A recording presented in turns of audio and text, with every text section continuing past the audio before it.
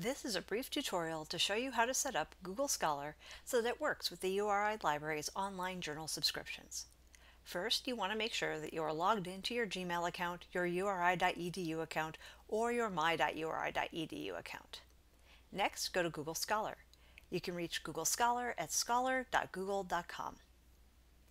You can verify that you're still logged in by looking to see if your email address is in the upper right-hand corner of the window. If you're logged in, click on the Settings button. While you're here, you can also customize some of the options on the settings page. For example, you may want to leave out patents from your search results. You may want to increase the number of results per page to 20, or opt to open selected results in a new window or tab.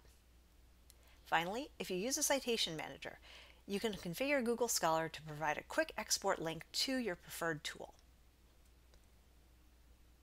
Now the important part connecting Google Scholar to the URI library subscriptions so you don't hit a paywall when you click on promising articles, and you also have the option of ordering articles via interlibrary loan if they're not available. To do this, click on the Library Links link on the left side of the page. Enter the University of Rhode Island in the search box, and click Search. Select all the new items listed for the University of Rhode Island.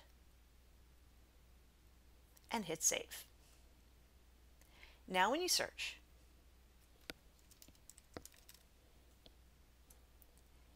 you can see there are search URI libraries links alongside results, providing an option to search URI subscriptions for access. This will work whenever you're on campus and whenever you're logged into your Google account. If you have any questions about accessing resources through the libraries, please contact a librarian.